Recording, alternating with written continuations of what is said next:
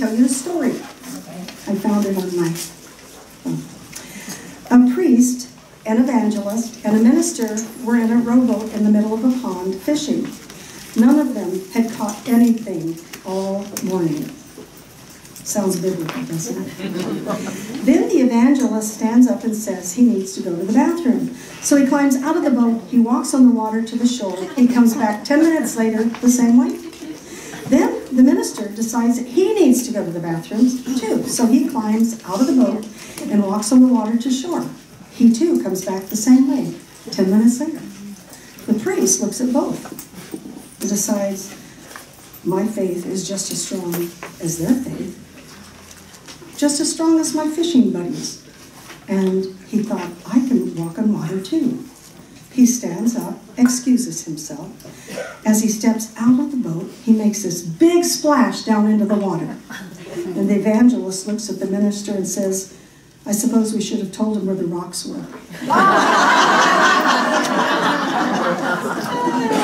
oh, well. So let us let us pray together. In the name of the Father, and of the Son, and of the Holy Spirit. Lord Jesus, we love you. We thank you that you're a mighty God, the Holy One of Israel. And Jesus, we want to enter into an experience of your love and presence today through the power of your word, because when we hear your word, it is alive, it is active, and we are transformed by it. We are renewed, we are lifted up, and we're edified and encouraged and affirmed by the power of your love, Lord Jesus. We are transformed. And so we thank you for this day, for this lesson about the nativity of Jesus and how Jesus came into this world for our sakes, Lord. Thank you so much, Jesus. And please allow us to um, be able to receive your word, Lord. Not so much what I would say, but your word spoken to our hearts, Lord. Transform us, renew us. And I pray in your holy and precious name, Jesus. In the name of the Father, and of the Son, and of the Holy Spirit. Amen. And so uh, today, our lesson, uh, we are on the birth of Jesus and the presentation of Jesus. Those are the two things that we'll cover today. And I want to begin with, uh, if you would look at, or you could listen, uh, to this Gospel of John. Remember this scripture. Uh, you've seen it held up at football games, John 3.16. For God so loved the world that he gave his only begotten Son, that whosoever believes in him will not perish, but will have everlasting life. So we need to know the power of that in our lives. Uh, God so loved the world. And then the Gospel of John says also, uh, to as many as received him, he gave power to become children of God to as many as believed in his name. And so this first chapter in the Gospel of John says, In the beginning was the Word, who was Jesus. The Word was with God, and the Word was God. He was with God in the beginning, and through him all things came to be. Not one thing had its being, but through him. All that came to be had life in him, and that life was the light of men, a light that shines in the dark, a light that darkness could not overpower, and that Word became flesh to dwell among us. And we saw his glory, the glory that is his as the only Son of the Father, full of grace and truth. And to all who did accept him, he gave power to become children of God, to all who believe in his name. Amen. Amen. So now we have to begin there because we have to know who Jesus is. Who was this who entered into the world, into space and time? And invited all of us. That's the key to this uh, lesson. Jesus came into this world for all of us. All of us are invited into the family of God. There is no exclusion of anyone. And so we know from Luke's uh, setting of the birth of Jesus into the history of the whole world, it is his way of saying Jesus came for everyone. Everyone has the opportunity to believe and receive Jesus as Lord. How do we do that? Do we know how to do it? When I grew up, nobody told me that I needed to uh, believe in Jesus so as to receive Jesus. I didn't know that.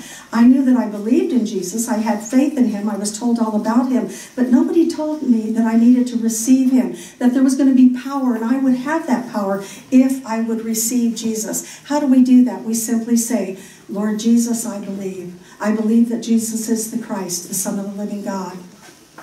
I believe that God sent him into this world that I might have salvation. And now I want to receive him. And so let us pray, Lord Jesus. Lord Jesus. I want to invite you into my heart today. I want to invite you into my heart today. In a new way. In a new way. Dispel all the darkness within me. Dispel all darkness within me. And fill me with your presence. And fill me with your presence. I love you, Jesus. I love you, Jesus. Thank you. So, everyone has that opportunity to believe that God sent his only begotten Son. And everybody has the opportunity to receive. Our part is to tell people about it. Our part is to tell people about Jesus. Uh, we know from St. Paul's letter to the Galatians that everything that God said through the prophets would be fulfilled at God's appointed time. So Galatians 4 4 says this When the fullness of time came, God sent his Son, born of a woman, born under the law, to redeem those under the law, to enable us to be adopted as children. The proof that you are children is that God has sent the Holy Spirit of His Son into our hearts. And the Holy Spirit in us cries out, Abba, Father. In other words, we know that we are God's children. I hope uh, that you read from the Catechism uh, what we must do now to enter into the family of God. We must be baptized in the name of the Father and of the Son and of the Holy Spirit. There was a time in my life that I discovered when I was an adult that my daddy was not baptized. And I was really scared because, of course, I believed what the church teaches and that what Jesus said. You must be born again through water and the Spirit. So I wanted my daddy to go to heaven. I knew he believed, but he had not satisfied the requirements that Jesus had set before us. Now, the church teaches that there are three forms of baptism. The first that we know of quite well baptism of water by the bishop, priest, or deacon. And then there is the baptism in the blood by which the martyrs were baptized. And then there is the baptism of desire, the person who believes and desires baptism but has been unable to be baptized. The church tells us that God honors that. I think it was Blessed or uh, Kateri Tekakwitha who was never been able to be baptized, and she so desired it. So the Lord honors that. Well, our church teaches that even, and I learned this as a little girl, that even children, if someone is in danger of death, even a child may use water and baptize uh, in the Trinitarian formula. That formula is I baptize you in the name of the Father and of the Son and of the Holy Spirit. Well, since my daddy was not uh, yet baptized, I began carrying around holy water with me. Because I thought, just in case there's an emergency and he needed to be baptized, I could baptize him really quickly. And uh, he was eventually baptized when my mom and my daddy were married for 40 years. So I didn't have to baptize him.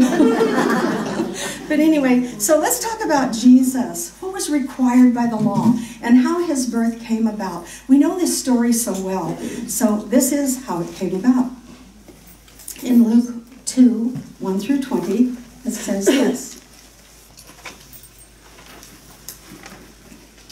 Now at this time, Caesar Augustus issued a decree for a census of the whole world to be taken.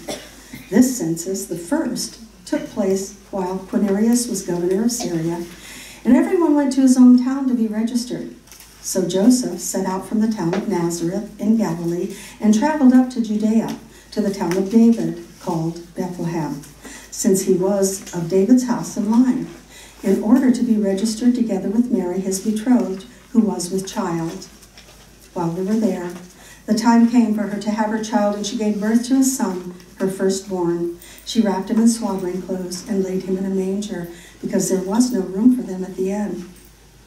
In the countryside, their flocks, the shepherds were watching their flocks, and they lived in the fields, and they took it in turns to watch their flocks during the night. Well, the angel of the Lord appeared to them, and then the glory of the Lord shone around them. They were terrified. But the angel said, Do not be afraid. Listen, I bring you news of great joy, a joy to be shared by the whole people. Today in the town of David, a Savior has been born to you, and he is Christ the Lord.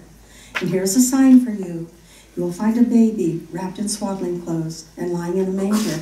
And suddenly, with the angel, there was a great throng of the heavenly host praising God and singing, Glory to God in the highest, and peace to men who enjoy his favor.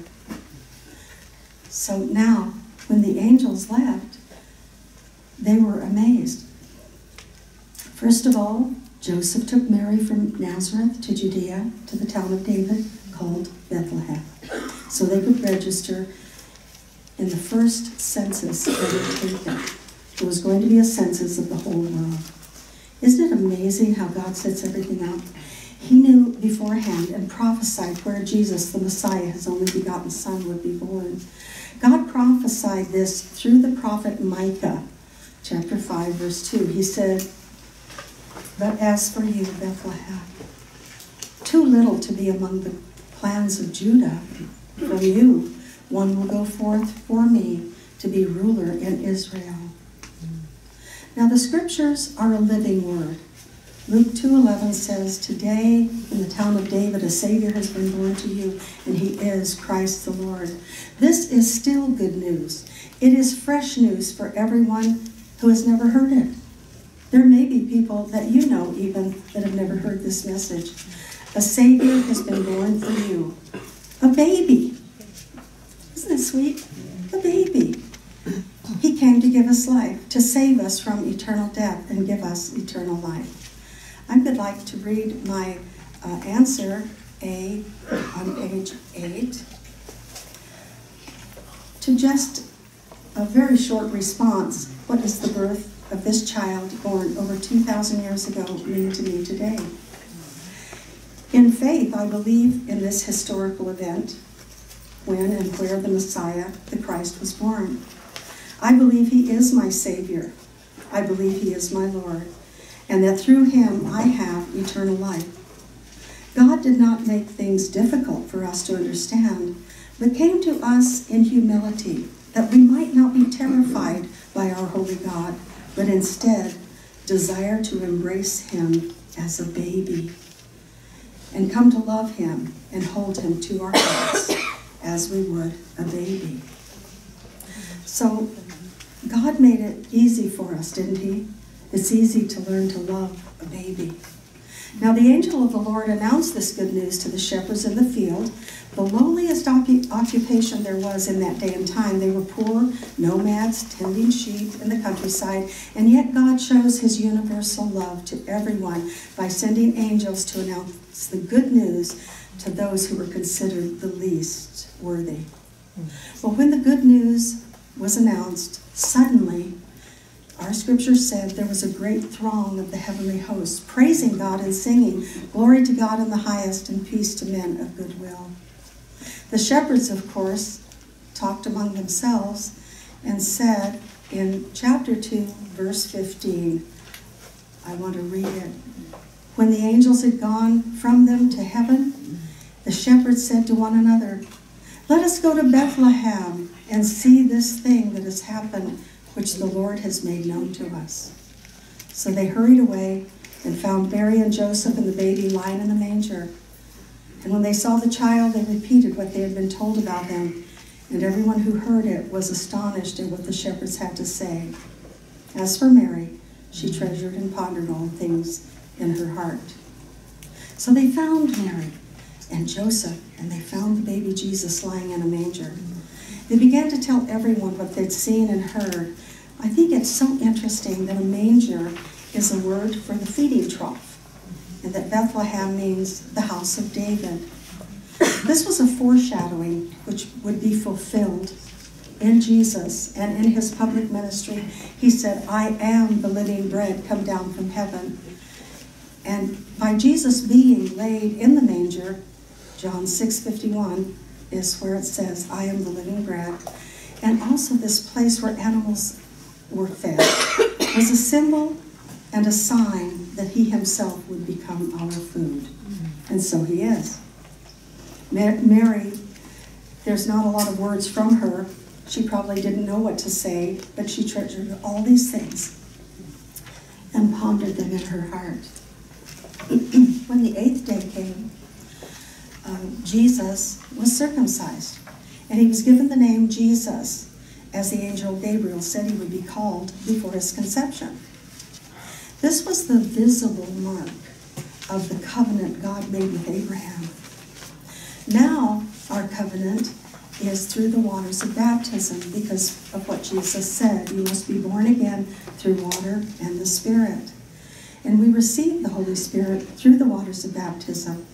And then we're given uh, this unseen, indelible mark on us, on our foreheads. As a matter of fact, um, this this indelible mark, uh, we cannot see it, but the uh, unseen realities can see. We're marked. We belong to Jesus. And so this is given to us when we who have circumcised our hearts uh, enter into that relationship with Jesus through the waters of baptism. Now, our parents do that for us and then raise up it raise us up in the face. But this indelible mark is called the Dominicus character. There is a priest that I do not know him personally, but I know Bernadette has met him, and that is Father Sudac in Croatia. And he at one time had uh, was given this and still wears this mark, a visible Dominicus character. Uh, and then later, after a year or so, he also received the stigmata, the wounds of Christ. But this this particular uh, story is that he he had um, I heard his uh, testimony on YouTube sharing this, and uh, what he said was he had uh, been at a youth meeting and he was going to have dinner with the family afterwards. And so he was, while they were preparing things, he went out on the patio and he was walking back and forth. He said, all of a sudden, he, he said, I don't know what happened. He said, but I reached up and wiped my forehead. There was something on my forehead. And he wiped his forehead and he looked and it was blood. And he thought, did I cut myself with the overhang? And so he went into the bathroom and he looked and there was this cross on his forehead bleeding. And uh, he reported himself to the bishop. They sent him to Rome, to the Gamaliel Hospital, I think that's the name of it, and uh, kept him um, there um, in a room by himself with a video camera to make sure this wasn't something that he had done to himself. And um, then they took him into a surgery. Uh, they put him to sleep, took him into surgery, and they cut around this to see if they could test it. What is this? And uh, the what they removed, uh, the the skin removed was still alive. Skin. It didn't die apparently. Um, so this they knew was from the Lord. They, they were testing that to see the Vatican wanted to know is this the Lord or not. And so they had him put a band-aid over it when he's in public so that it, because they don't want it to be spectacular. They don't want people just to see that. They want people to come to Jesus. And so, of course, you know, all of us want to see that sign, right? so anyway, one time I made a little prayer card for us of a picture of him with the Dominicus character uh, visible. But anyway, um, this is this visible uh, Dominicus character is on Father Sudac's where we can see it, but we cannot see it on ourselves. But through the waters of baptism, we receive this. So, so we are marked for Jesus also, not by circumcision, but by the Dominicus character through the waters of baptism. And as you know, through the waters of baptism, we receive the Holy Spirit and we receive, are infused with the three theological gifts of faith, hope, and love. Anyway, I, I thought that. Um, this was an interesting thought too in our lesson. After 33 more days after Jesus was circumcised, uh, it became 40 days after his birth. The day came when he would be presented at the temple, and Mary would be purified as was pre prescribed under the law. Well, I found the scriptures in our lesson really interesting in that they spelled out exactly what they were to do. And Joseph and Mary were obedient to it all. And that's what's really wonderful is that wow, their obedience was just immediate. They brought uh, to the temple, they brought two turtle doves for sacrifice, and in this way, the firstborn male must be consecrated to God. And that would redeem him. This rite was a sign of redemption, and the, the two doves were offered as a sign of reparation. And so um, they came to the temple, they encountered uh, Simeon. Now, I just want to say Jesus is the fulfillment of the law. He completed all the requirements of the law. And that was one of them. He said in Matthew 5 17, I have come not to abolish the law, but to fulfill it. And it seems that the continual theme in this scripture is that obedience is what pleases the Lord. But let us remember that throughout the centuries, we did not walk in blind obedience, no, but we have a sense of understanding through faith. Uh, to know what has happened in the past and the prophecies, and it shows us that we can trust God. So our obedience is based on faith, and like water is drawn from a living well of water by the Holy Spirit, we can confidently say, Yes, Lord, and be in obedience to the Lord because we know that the Lord has a plan and a purpose for our lives, and we know that His will for us is good. Have you ever had somebody pray? They just seem to be at the end of the rope, and finally they're going to pray, Okay, Lord your will be done. Uh-huh. It's like, hey, hey, guys, God's will for us is good. Pray for that first. His will for us is good. We've got to get that in our minds because we're asking God for something, we're asking and, and we're saying, okay, well, finally, we're going to stop telling God what to do and say, okay, I'll accept your will. Well, maybe that we don't know what His will is in that sense, except we know it is good for us. So, because He has a plan and a purpose for our life. And he's reserved a future of hope for us. Okay? So we were reminded at Mass recently by Father Michael about rituals, that they are not proof of holiness. We, you might know someone who says, "Well, I'm not going to do that, but I'm going to go to mass and I'm going to go to confession and I'm, uh, you know, how, and I'm going to go to Holy Communion and I'm going to pray my rosary and I'm going to do this." Well, that is not proof of holiness. That's not what makes you holy. God has set you apart. You are a royal priesthood, a holy people, set apart by God to, to bring others out of darkness into his wonderful light as you have been. So I liked that reminder of Father Michael that rituals are not proof of holiness. We must know Jesus as Lord and enter into a relationship with Him and be filled with the Holy Spirit to be able to walk in obedience to Him and to be a light in the world. There are some I, thoughts that I had, uh, so just a review of the fulfillment of the prophecies. Uh, the first one, these are the significant symbols and fulfillment of prophecies. First of all, the Messiah was prophesied to be born of a virgin. And so he was born of the Blessed Virgin Mary. So, who was the ark and temple for the Messiah in the flesh? She gave Jesus flesh. So, our own Messiah was Jesus, was conceived by the Holy Spirit. The third is Jesus was born of the Blessed Virgin Mary. The fourth is our Messiah was born in Bethlehem, Micah 5 2, which means house of bread. It was prophesied that he would be born in the city of David, and Bethlehem becomes the new paradise and heaven, which will now be opened with the birth of the Christ, who is Jesus. That was from the ancient Christian commentary. Now, Jesus was wrapped in swaddling clothes, we know that. Swaddling clothes bound a baby. I used to be fascinated at my friend Nancy because she would take her grandbabies, and I've seen Marilyn do this too. They lay them on the little baby blanket and they wrap them this way and wrap them this way and wrap them up, and they're so tight they can't move. They're just there. Well, those are swaddling clothes. and and the babies wrapped in swaddling clothes. Jesus was bound as a baby. Can you imagine? Here it is, God, King of Kings, Lord of Lords. And but this kept the baby from moving. And this is a symbol of Jesus taking on the bondage of flesh by becoming man. And Jesus would one day break the bondages of by his death and resurrection, the bondages that we have. Though he was rich and Lord of heaven and earth, he became poor to teach us that by being poor in spirit, humble, that we might uh, even the kingdom of enter the kingdom of heaven through our faith in him. And finally, Jesus, our Messiah, King of Kings and Lord of Lords, was laid in a manger. The manger is the trough where the food for the animals was put. And so the symbol of truth is that he would become the bread of life for us. He said, I am the living bread come down from heaven. So when they came to the temple, Mary and Joseph brought baby Jesus they encountered Simeon.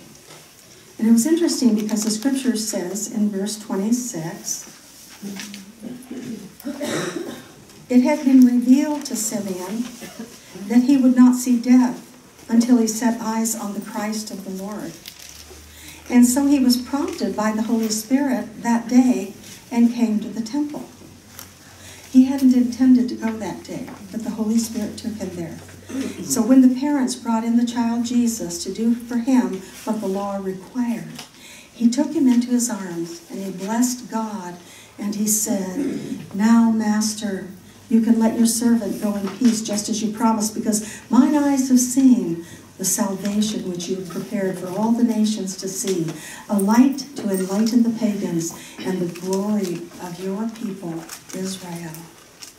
I think it's kind of interesting, this form of prayer, uh, a canticle is what I called it, the, the Magnificat of the Blessed Virgin Mary we had, where she personally praised the Lord for what he had done for her.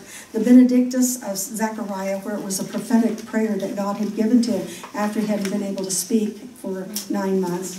And then this Canticle of Simeon, which is a, a prophetic prayer of thanksgiving and praise. And so Anna praises also and encourages others to believe in Jesus. And um, so anyway, I, I love that that prayer of his. He he was everybody knows that mine eyes have seen the glory of the coming of the Lord. So um, anyway, that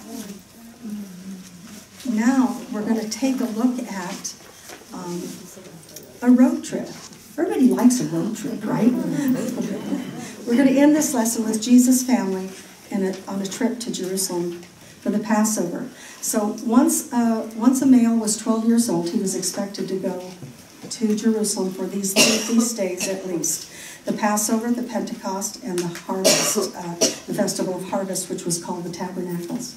So when Mary and Joseph, after three days, realized that Jesus was not in the family's traveling party. They, they had a caravan, and, and the commentaries say generally the women traveled with the women, the men traveled with uh, the men, the boys traveled with the, and the family members could get mixed up, but um, it, children could travel with whomever.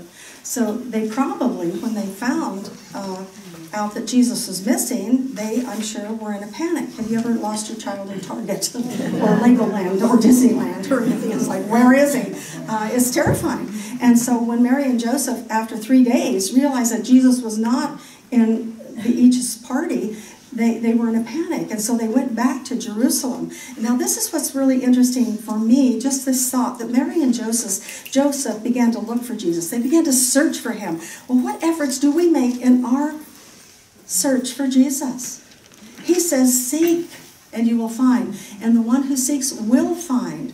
And that's what we need to do. We need to continually seek the presence of Jesus in our lives so that we can be present with him and he with us.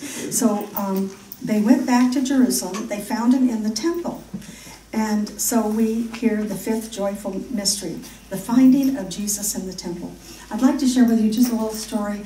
Uh, I mean, you know how you do the rosary and you have the Annunciation, the Visitation, and the Nativity, and you know, yada yada. Okay, so we got to the. I, I was coming in, and it had to be a Monday morning because that's when here at St. Elizabeth we pray the joyful mysteries. So I opened the door and I went to sit down, and they were announcing this mystery the finding of Jesus in the temple. I was so astounded, I wanted to cry. The finding of Jesus in the temple. I thought immediately, wow, I'm the temple of the Holy Spirit. Am I going to find Jesus in my temple? I need to seek him in a deeper way and find him. So every time I pray that, that mystery anymore. It's like, oh Lord, I want to find you. I want to find you in a new way. Um, so invite the Lord. Just say, Lord, let me find you in, in this temple. Well, what was Jesus' reply to his parents at 12 years old?